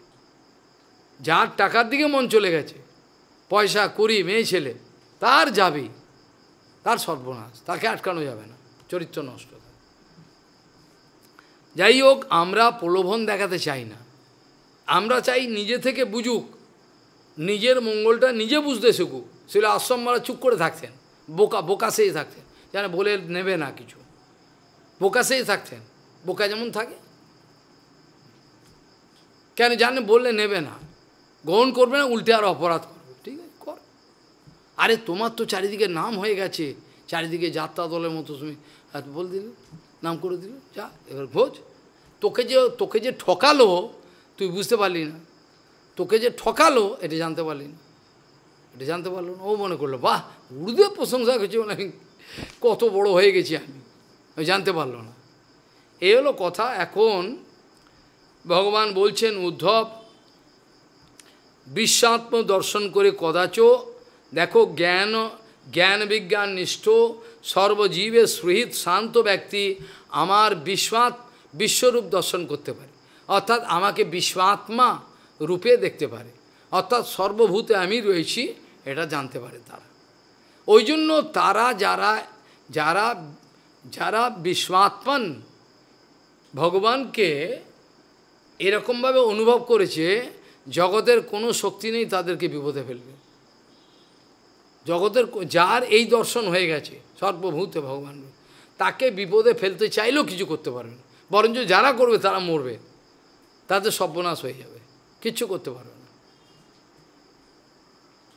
এই জন্য শাস্ত্র বলছেন, মহাপুরুষদের ওপরে হিংসা করতে গেলে, যেমন জড়ভরতের ওপর হিংসা করতে গেল জড়বাদ নির্দোষ সেই হিংসাটা নিজের উপর উঠল। ভদ্রকালী তার গলাটা কেটে কেটে সব রক্ত ফুটবল খেলছেন। মাথা দিয়ে ফুটবল খেলছেন ভদ্রকালী। এখান থেকে লাথি মারছেন ডাকিনি শখিনী ডাকিনি যখন লাথি মারছে। লেখা আছে। ওখানে লেখা আছে, কন্দুক লীলা। ওই মাথাগুলোকে দিয়ে ফুটবল খেলা খেলছে, কন্দুক লীলা। তাহলে কেটে ফেলল।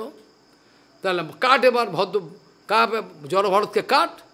জড়ভারতকে উদ্বেগ পেয়েছিল? জড়ভারতকে উদ্বেগ পেয়েছিল কি? হ্যাঁ? উদ্বেগ পায়নি কিছু? যখন গলাটাকে হাড়ি কাটে দিয়ে দিয়েছে, এইবার কাটলো বলে আর কি এরমভাবে তুলেছে। তখনও জড়ভরত বলছে, না ভগবান, এটা কি হলো? আমি তো কিছু করিনি আমার কাটছে কেন? কোনো অভিযোগ নেই। জানি যা হচ্ছে, ভগবান ইচ্ছে শেষে কী হলো? ভদ্রকালী সহ্য করতে পারল না। সেই ভদ্রকালী আমি দেখেছিলাম, আজ থেকে পঁয়ত্রিশ চল্লিশ বছর আগে। একটা মোটের সঙ্গে গেছিলাম, সেখানে দেখেছিলাম কুরুক্ষেত্রে। সেখানে কালী, বিরাট কালী, ভদ্রকালী, সেই কালী। জড়ভরত যে, সেই। যাই হোক, এখন এখানে ভগবান বলছেন, দেখো, এই অবস্থায় যারা হয়, তারা কদাপি বিপদাপন্ন হয় না। বিপদ তাদের ভয় পায়। বুঝে গেল না? বিপদ তাদেরকে ভয় পায়। আর তাদের কাছে যাব, বিপদ ভয় পায়। কাছেই যেতে পারে না, ভয়ে। এইরকম অবস্থা। তা ভগবান বলছেন, তাদের কোনো বিঘ্ন, বিপদ কোনো কিছু হতে পারে না। এখন সুখদেব গোস্বামী বলছেন, যখন ভগবান এতগুলো কথা বললেন, তখন সুখদেব গোস্বামী এবার বলছেন যে, ইত্যাদিষ্ট ভগবতা মহাভাগবত নৃপ উদ্ধব প্রণিপত্যাহ তত্ত্ব জিজ্ঞাসুর হ্যাঁ রচ্যুতম। অচ্যুত অর্থাৎ ভগবানকে, ভগবানের এইসব আদেশগুলো শুনলেন প্রথমে, ইত্যাদিষ্ট ভাগবতা। ভাগবতা মানে ভগবানের দ্বারা ভগবানের দ্বারা যে আদেশগুলো হয়েছিল সেগুলো শুনেছেন। মহাভাগবত নেব এই মহাভাগবত উদ্ধব শুনেছিলেন। এবার সাষ্টাঙ্গ প্রণাম করে উদ্ধব প্রণিপত্যাহ, প্রণিপাত করে আহ মানে বলেছিলেন। কি বলেছিলেন? বলছেন তত্ত্ব জিজ্ঞাসা করবার জন্য অচ্যুতকে এবার বলতে আরম্ভ করলেন উদ্ধবের কিছু প্রশ্ন আছে কেন তিনি বুঝতে পারছেন ভগবান চলে যাবে ভগবানও বলেছেন, তুমি ঠিকই ধরেছ, আমার কাজ হয়ে গেছে এখানকার, এখন আমাকে জেলেই ভালো। আমি এখানে আর থাকব না, ইচ্ছা নাই।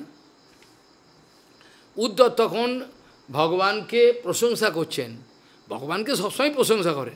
কিন্তু কথা বলার স্টাইলটা পণ্ডিত ব্যক্তিরা প্রত্যেকটা শব্দের একটা একটা লক্ষ্য করে। এই এই শব্দটা কেন বলল? সেই হিসাবে আমি বলছি, এমনিতে তিনি সবসময় ভালোবাসেন, সবসময় সম্মান করেন। কিন্তু এখন কথা বলার ভঙ্গিমাটা দেখুন। সেই জন্য বলছে, উদ্ধব বলছেন, হে যোগেশ প্রথমে বলছে, যোগের ঈশ আর যোগ বিন্যাস যোগাত্মান যোগ সম্ভব মানে এতগুলো তাকে পদবি দিচ্ছেন। তুমি যে যোগের সমস্ত, যোগের যোগের স্বরেশ্বর তারপর হচ্ছে যোগে যোগ বিন্যাসাহা, যা কিছু যোগ সব তোমার থেকেই আসে। যত যেখানে কিছু সব তোমার থেকেই। যোগাত্মানা, তুমি নিজে যোগাত্মানা।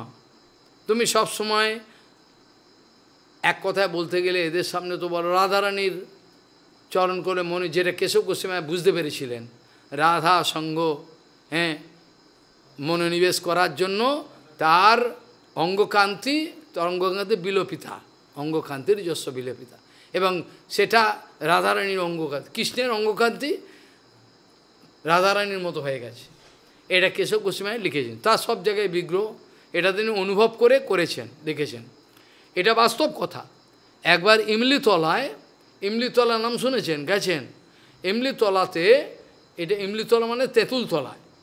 তখন বৃন্দাবনের তেঁতুলতলা ওটা ছিল তেঁতুল গাছেতে রাধারানীর পা পিছলে গেছিল।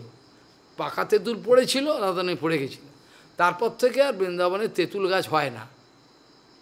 আর তেঁতুল গাছ একটাই আছে ওটা। তাও আর ফল ফল নেই। রাধারানী পা পিছলে গেছিল। তারপর থেকে তেঁতুল গাছ আর পুরো বৃন্দাবনে নেয় করে না। যাই হোক, এখন একদা রাধা গোবিন্দ বসে রয়েছেন ইমলি তলায় গাছের তলায়। আর সখী মঞ্জুরা সেবা করছেন। হঠাৎ সেবা করতে করতে হঠাৎ দেখলেন কৃষ্ণর কালো রং পুরো একেবারে সোনার বর্ণ হয়ে গেল। কী ব্যাপার হলো? দুজনে বসে রয়েছেন। হঠাৎ হতে হতে কৃষ্ণের বর্ণ পুরো চেঞ্জ হয়ে সোনার বর্ণ হয়ে গেল। কবিকার এটা কী হলো? এটা কোত্থেকে হলো? কি করে হলো? কৃষ্ণ বলছেন, এটা আমার নিত্য স্বরূপ এটা আমার নিত্য স্বরূপ এই রূপে আমি অবতীর্ণ হই। কাজে এটা তোমরা দেখলে, এটা আমার নিত্য স্বরূপ। অর্থাৎ শ্রীমতী রাধারানীর অঙ্গকান্তি এবং ভাব সেটাকে চুরি করে শ্রীমতী রাধারানীর অঙ্গকান্তি এবং ভাবকে চুরি করে গৌরাঙ্গ মহাপ্রভু এই জগতে এসেছিলেন, এটা অনেকেই শুনি আমরা, কিন্তু অনুভব করতে পারি না। গো রা মানে হচ্ছে গো মানে গৌরাঙ্গ, রা মানে রাধা গৌরা গোরা মানে হলো গো হচ্ছে গৌরাং গৌরাং, গো হচ্ছে গোবিন্দ আর রা হচ্ছে রাধা। এটা নিয়ে গোড়া হয়েছে। যাই হোক, এখন কীরকম সুন্দর সে কথাগুলো বলছেন মানে ভগবানকে একেবারে ভেতরটা গলিয়ে নিয়ে আসল জিনিসগুলো বার করে নেবেন। এই জন্য এত সুন্দর সুন্দর কথা বলছেন। এমনিতেই তিনি ভালোবাসেন। প্রাণ, ভগবান কৃষ্ণ হলো প্রাণ। ভগবান যখন ঘুমোতেন, তো পাটাকে ধরে ঘুমোতেন। ভগবান যখন চান করতে যেতেন তখন যখন পর্যটনে যখন কোনো জায়গায় যেতেন, সব জায়গায়। উদ্ধব ছাড়া কেউ নেই।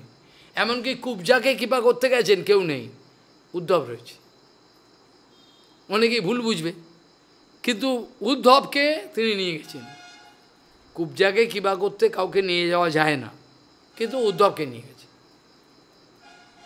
ভুল বুঝবে না, উদ্ধব জানে আমি কে। কাজেই উদ্ধবজি মহারাজ এখন বলছেন যোগেশ যোগ বিন্যাস যোগাত্মন যোগ সম্ভব নিঃশ্রেয়সায় মে প্রক্তস্ত্যাগ সন্ন্যাস লক্ষণ ত্যাগো অয়ম দুষ্করো ভুমন কামানম বিশ্বাত্মভি সুতরাং ত্বয়ী সরমাত্মন অভক্তই রীতি মে মতি হে যোগেশ হে যোগ বিন্যাস যোগাত্মন যোগ সম্ভব আমার চরম মঙ্গলের কথা আপনাকে জিজ্ঞাসা করছি। নিঃশ্রেয়সা মানে চরম মঙ্গল। নিঃশ্রেয়সায়ও আমার চরম মঙ্গলের জন্য মেয়ে, আমার। আপনি যদি দয়া করে আমাকে ত্যাগ কাকে বলে? সন্ন্যাস প্রক্তস্ত্যাগ হ্যাঁ? প্রক্তস্ত্যাগ সন্ন্যাস লক্ষণ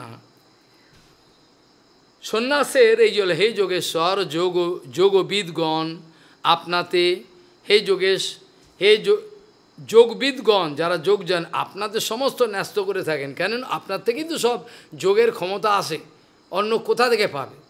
আপনি যোগাত্মা ও যোগ সম্ভব সব কিছু ভগবান গীতাতে বলছেন, এগুলো অনেক কথা, এই যেগুলো মহিমা আছে, ওর মধ্যে আছে।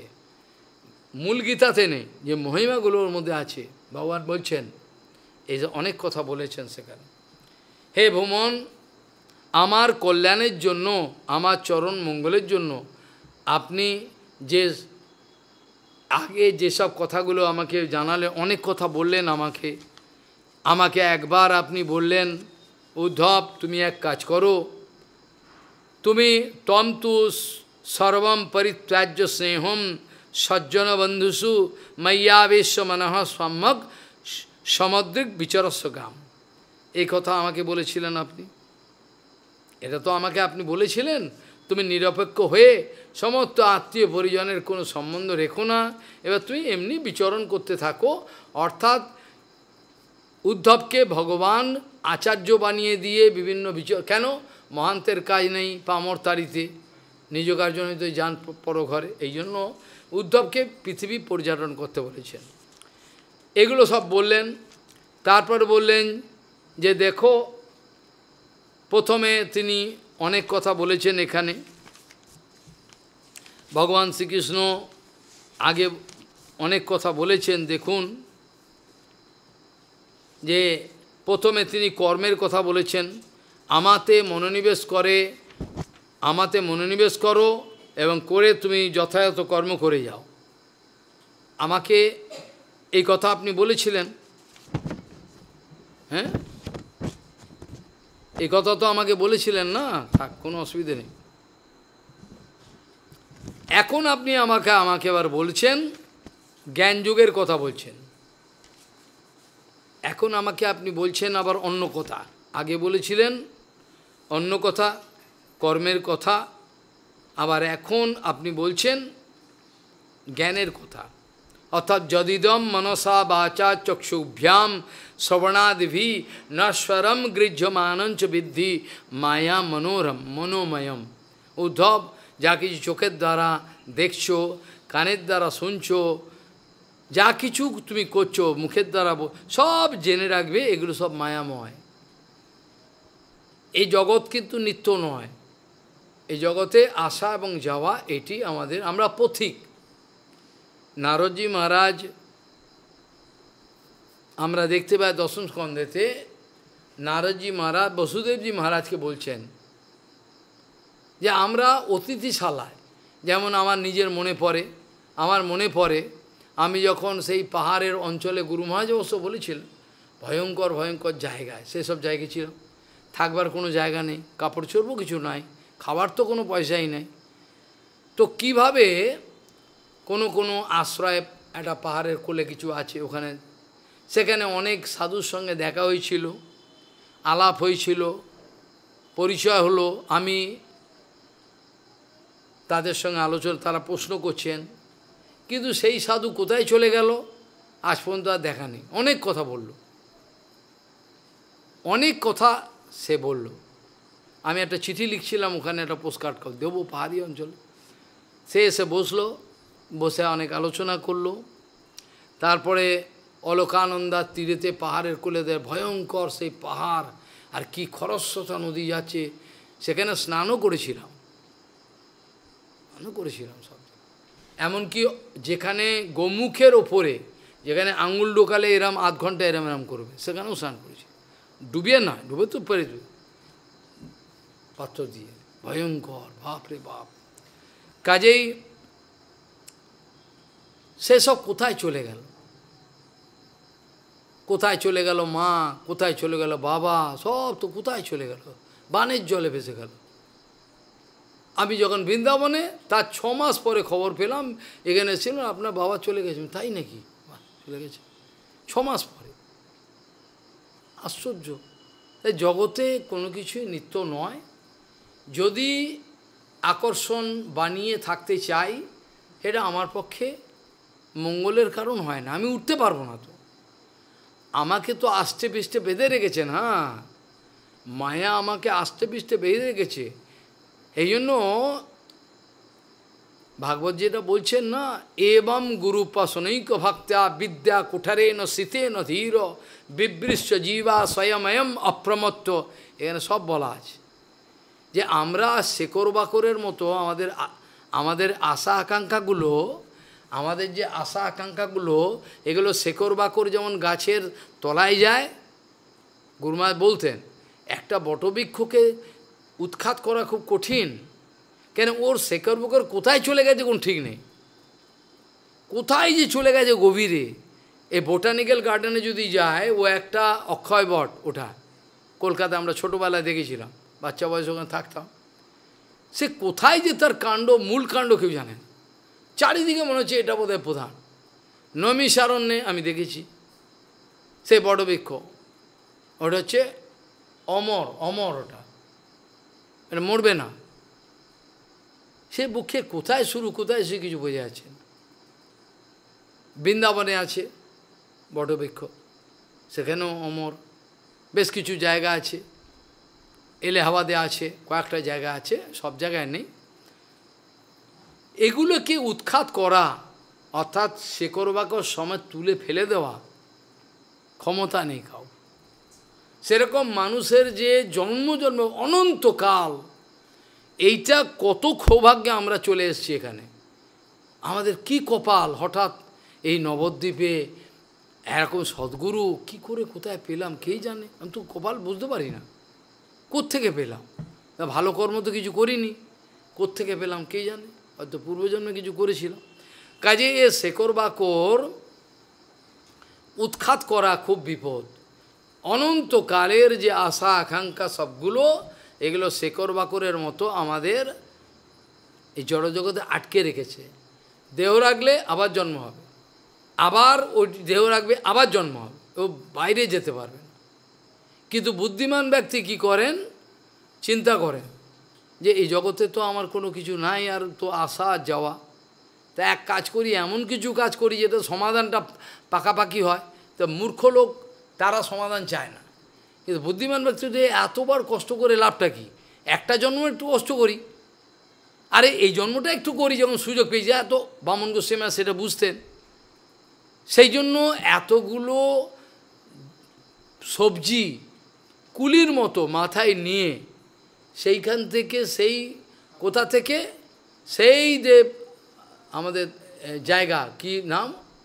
চাপাহাটি।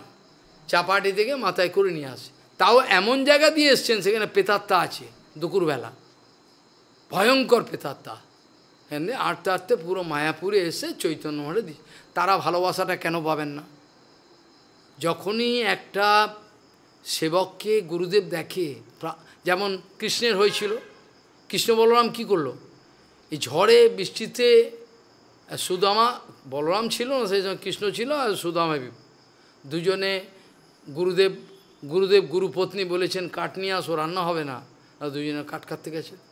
জঙ্গলের কাঠ কুড়িয়ে বোঝা বানিয়েছে এরকম মাথায় বোঝা করে হঠাৎ দেখে ঝড় বৃষ্টি এমন, চোখে দেখা যাচ্ছে না। এখানে সুদামা রয়েছে, একে দেখতে পাচ্ছে না। গাছের তলায় ঠান্ডা জলেতে রয়ে, পশু, তো আছেই। গুরুদেব সকালে তো পাগলের মতো দুঃখেতে করছে কোথায় গেল ছেলেটা আমার? কোথায় আমার ছেলেটা গেল? খুঁজতে বেরিয়েছে, জঙ্গলে জঙ্গলে, কৃষ্ণ কৃষ্ণ, সুদাম। হঠাৎ দেখে এরা গাছের তলায় বাচ্চা ছেলে দুটো কাঠের বোঝা নিয়ে মাথায়। দেখে একেবারে কান্না, আজর করে জড়িয়ে ধরে যে, তুমি নিজের শরীরটাকেও গুরু সেবার জন্য দিতে চেয়েছো। তোমাকে আমি আশীর্বাদ করি, তুমি যা চাও তাই হবে। তোমার সমস্ত এটা কৃষ্ণকে আর আশীর্বাদ কে দেবে? তথাপি বলছে, অজাত জামো কোনো সময়কাল পাত্র বলে কথা নেই। যে কোনো শাস্ত্র যে কোনো সময় তোমার ভেতরে স্ফূর্তি হবে। এটা তো হবেই, কৃষ্ণ তো স্বয়ং। তোমাকে আশীর্বাদ করলাম। তুমি নিজের জীবনটাকে উপেক্ষা করু, গুরু, যেটা কেশব গোস্বামী বলে। তো কেশব গোস্বামী মহারাজের মতো এরকম সেবা কজন করেছে? প্রাণটাকে উপেক্ষা করেছে মেরেও দিতে পারত মহারাজ মেরে দিতে পারত তো, অনায়াসে। যেমন কুরেশ করেছিল, কুরেশ রামানুজের জন্য। নিজে যে পরিচয় দিয়ে গুরুদেবের কাপড় পরে গেছেন রামে রামানুজ চোখ দুটোকে অন্ধ করে দিল, মারলো, পিটলো, শেষ। করল তো, এত কষ্ট দিল তো, কত কষ্ট দিল। কিন্তু কুরেশের কোনো দুঃখ নেই। কুরেশ জানে আমি গুরু সেবা করি। তো গুরু, গুরুমাজ বলতেন, অনেক কিছু উপদেশ করতেন। করে বলতেন, বাবা, আমার গুরুতত্ত্ব বলতে লজ্জা হয় তোমাদের সামনে। হ্যাঁ তোমাদের মধ্যে কেউ যদি মনে করে আমি বোধহয় সেবা চাইছি, উনি লজ্জায় বলতেন। আমি গুরুতত্ত্বটা খুলে বলছি, কিন্তু তোমাদের মধ্যে অনেকে হয়তো এমন হতে পারে মনে করছে হয়তো আমি সেবা চাই তার থেকে। একথা লজ্জায় বলতেন। গুরুতত্ত্ব এরকম। যতদিন পর্যন্ত গুরুতত্ত্বতে প্রতিষ্ঠিত না হবে, ভজনের কোনো সম্ভাবনা নেই। গুরুতত্ত্বে প্রতিষ্ঠিত হতে হবে, গুরুদেব আত্মা হতে হবে, গুরুদেব দূর থেকে বুঝতে পারবে, এ আমার জন্য কাঁদছে, এ আমার জন্য সব বুঝতে পারে তারা। এদেরকে বলতে হয় না। এ বোকা বানো জানে এটা করে মিথ্যে কথা বললাম ঠিক জানতে পারে, কিছু বলে না। নিজের পায়ে নিজে কুরুল দিয়ে আমরা নিজের কবরটা নিজে খুঁড়ছি। সমাধি বলব না, কবর। নিজের কবরটা নিজে খুঁড়ছি, এই লাভ হচ্ছে। আমাদের লাভ হলো এটা, নিজের কবরটা নিজে খুঁড়ে রাখছি। ওরে যাব ওর মধ্যে। তাই যে এখানে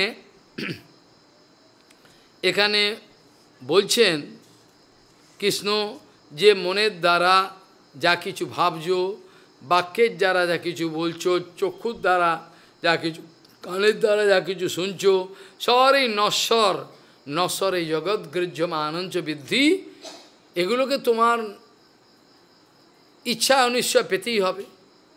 কিন্তু সেগুলোকে মায়াময় যেন যেমন তুমি নিদ্রা গেলে, স্বপ্নেতে যেগুলো দেখো, স্বপ্নেতে যেগুলো তুমি নিদ্রা গেলে দেখো, সেগুলো তো সত্য নয়। স্বপ্নে যেমন যেগুলো দেখো, সেগুলো সত্য নয়। আবার এই জগতে চক্ষু উন্মিলন করে, চোখ খুলে যে বস্তুগুলো দেখছ, এটাও কিন্তু চিরন্তন সত্য নয়। এটা সত্য, ঠিক আছে? এই বাড়িটা আছে, সব আছে, এই সব কিন্তু এগুলো কোনোটাই থাকবে না। এগুলো নশ্বর। কাজেই এই স্বপ্নে যেগুলো দেখা প্রায় ওই রকমই স্বপ্নের জিনিসগুলো আমি জেগে উঠলে ভেঙে যায়। কিন্তু এই ভান্তিবিলাসটা স্বপ্ন যাইও স্বপ্ন দেখে জেগে উঠলে ভান্তিবিলাসটা ভেঙে যায়। কিন্তু এটা আরও বিপদ। এটা যে এত বড় স্বপ্ন, বোকা বানাচ্ছে, এটা এটা ভাঙে না। স্বপ্ন দেখে জেগে উঠলেও না, এই স্বপ্ন দেখেছিলাম রে এ কী দেখ এটা হতে পারে। কিন্তু এটা তো তাও বুঝতে পারবে না। এটা স্বপ্ন দেখলে ভান্তিবিলাস হয়। এটা তাও পারবে না, সুযোগ পাবে না। এটা এত এত সত্য বলে মনে হবে, আর এইটি তোমার কিন্তু গলায় দড়ি পড়বে। এটাকে এটা কিছুতেই মিথ্যে বলে মনে হবে না। কিছুতেই কেউ বিশ্বাস করতে পারবে হ্যাঁ মশাই বললে হয়, আমার বাড়ি, আমার বউ, আমার গাড়ি। বলে কি করে মিথ্যে বলছেন? বললেই হয়ে গেল। বলবে, কিন্তু এগুলো মানতে পারে না। এরা তত্ত্বজ্ঞানের উপলব্ধি নাই। খুব কম ব্যক্তি আছেন জগতে, সারা পৃথিবী খুঁজে পেললে যদি এটাকে ইংরেজিতে বলে কম অপারেশন। চিরুনি দিয়ে যেমন আছড়ালে পরে, উকুন বেরিয়ে পড়ে, সেরকম পুরো চিরুনি দিয়ে যদি পৃথিবী থেকে আছড়ানো যায়, তাহলে হাতে গুণে বলা যাবে কজন তত্ত্বজ্ঞানী পুরুষ। হাতে গুণে বলে, এত কম। যে প্রত্যক্ষ অনুভবের থেকে কথা বলে। কিছু মুখস্থ করে দিয়ে ওটা নয়, অনুভব, প্রত্যক্ষ অনুভব করে তার ভেতরটা কাঁপছে পুরো। দেখছিস কি বিশ্ব, এ কি, এরা কি করছে? এ তো মানছে না, এ তো ভুল ভুল বুঝছে। এরা তখন আতঙ্ক। কি করে বাঁচাবো? পৌপাদের ধ্যান জ্ঞান ছিল কি করে বাঁচাবে? খাওয়া নেই, ঘুম নেই। তেষট্টি বছরে বহুপাতকে দেখলে মনে হচ্ছে নব্বই বছর। ছোটি ফটো আছে আমার কাছে। গৌরীয়তে একটা ফটো দেখেছিলাম। পুরো গৌরীয় মিশনের পুরো বারান্দাটা গিরিরাজ গোবর্ধনের পুজোর দিন, সব প্রসাদে ভর্তি। গিরিরাজ গোবর্ধনের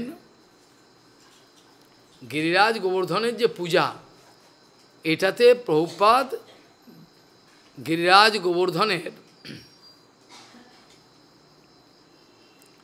গিরিরাজ গোবর্ধনের যে পূজা এই যে আমাদের দুদিন পরে আসবে কালী পুজোর পর, অন্নকূট যেটাকে বলে। গিরিরাজ গোবর্ধনের যে এই যে পূজাটা, এই পূজাতে প্রভুপাত পুরো নাট্যমন্দির ভর্তি। কোনো জায়গায় উঠতে পারবে না, নাট্যমন্দির পুরো এত বড় নাট্যমন্দির, সব ভর্তি প্রসাদে মানে ভোগে। ভাজা পোড়ায় সমস্ত ভর্তি চারিদিকে। বুঝে গেল? কি বললাম? প্রত্যেকটা ভর্তি। এই সময়ে প্রভুপাদের একটা ফটো দেখলাম। প্রভুপাদের ফটোটা দেখে আমার বুকটা ফেটে গেল। কি অবস্থা? তেষট্টি বছর বয়স। বাষট্টি গিয়ে তেষট্টি? দেখলে মনে হচ্ছে প্রভুপাদ নব্বই বছর হয়ে গেছে। আশ্চর্য। কীভাবে নিজেকে দিয়েছেন? আমাদেরকে বাঁচাবার জন্য তো কীভাবে দিয়েছেন? দিন রাত বিশ্রাম বলে কিছু নেই, কোনো কিচ্ছু নেই। সারাক্ষণ খালি চিন্তা করছি এদের কি করে বাঁচাবো? লেখার পর লেখা, লেখার পর লেখা, বইয়ের পর বই, হরিকথার পর হরিকথা, কোনো বিশ্রাম বলে কিছু নেই। তারপর তো নিজের গুপ্ত ভজন সে তো আছেই। এইরকমভাবে নিজেকে দিয়েছে। গুরুবর্গ আমাদের। আমাদের কোনো কাণ্ডজ্ঞান নেই। আমাদের কৃতজ্ঞতা বলে কিছু নেই। কৃতজ্ঞতাটা বৈষ্ণব ধর্ম জেনে রাখবি। বলেছিলাম, হনুমান, হনুমানজি বলছেন যে আমার জন্য কেউ যদি কিছু করে চিরকাল মনে আমার ছোটোবেলায় মাস্টারমশাই দেখিয়ে দিয়েছিল, সেটা এখনও মনে আছে। এখনও যদি তো মরে গেছেন কোথায়? দেখা হলে আমরা রাস্তা দেখা হলে পায়ে হাত দিয়ে প্রমাণ করতাম। কৃতজ্ঞতা হচ্ছে সবচেয়ে বড়। যার জীবনে কৃতজ্ঞতা নেই, সে বিশ্বাসঘাতক হবে। যার জীবনে কৃতজ্ঞতা বলে কিছু নেই, আমাকে করেছে, একটা মনে রাখে না, তার কোনোদিন মঙ্গল হওয়ার সম্ভাবনা নেই। বৈষ্ণব ধর্মটাই কৃতজ্ঞতা। ভগবান যে ভগবান রামচন্দ্র, ভগবান যে ভগবান গৌরচন্দ সে পর্যন্ত কৃতজ্ঞতা বলে তুমি আমাকে করেছ। তাহলে আমরা মানুষ, আমাদের কৃতজ্ঞতা বলে কিছু নেই। যাই হোক, এখানে পরবর্তীকালে কালকে বলেছিলাম, পুংস অযুক্তস্য নানা অর্থ ভ্রম স গুণ দোষ ভাগ কর্মা কর্ম বিকর্মেতি গুণ দোষ ধিও ভিধা এগুলো আজকে আর ব্যাখ্যা হতে পারবে না, আপনাদের দূরে যেতে হবে, আজ এই পর্যন্ত থাক। আর ভগবান এগুলো অনেক কিছু বলছেন। কীভাবে লোককে বোকা বোকা বানায় মায়াদেবী যাই হোক, আজকে এইখানে বিশ্রাম থাক, চর্চা। কি দিয়ে শুরু করেছিলাম আমি? হ্যাঁ। তমাদিদেবম পুরুষ পুরাণম, তমালবর্ণম সুহিতাবতারম, অপার সংসার সমুদ্র সেতুম भजामहे भगवतो स्वरूपम। वाछकल्पतुर के पास पति पावन भो वैष्णव्यो नमो।